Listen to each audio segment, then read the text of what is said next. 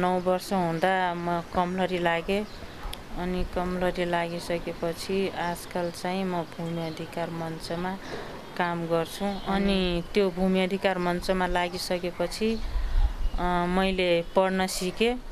अनि पढिसकेपछि अनि फेरि महिलाहरूलाई अब गाउँमा गएर छलफल चलाउँछु अनि अरू महिलालाई पनि अगाडि बढाउन चाहन्छु